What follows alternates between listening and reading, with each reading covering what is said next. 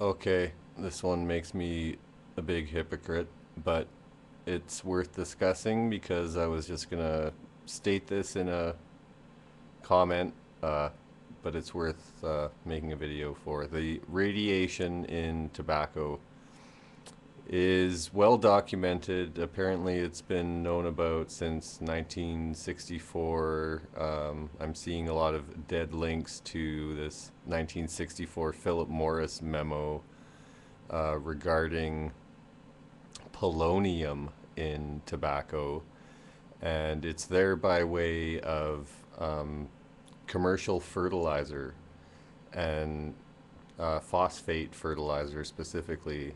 Um, I'm still gaining a complete understanding of it, uh, if that can ever be achieved. Um, but basically, the the way the fertilizer is processed um, imparts radiation to it at, at one point, and um, it's basically too expensive to remove from tobacco. What I'm trying to figure out um, well, I guess the reason it's uh, worse in tobacco than it is in commercially grown food is that the food is eaten and passed usually, hopefully, within 24 hours. So there's not as much time for the the radiation to absorb. Whereas with smoking, you get the buildup of tar and a buildup of radiation. So, I mean, the, there is a theory out there that tobacco itself is not cancer causing. It's the the method by which we grow it that makes it cancer causing.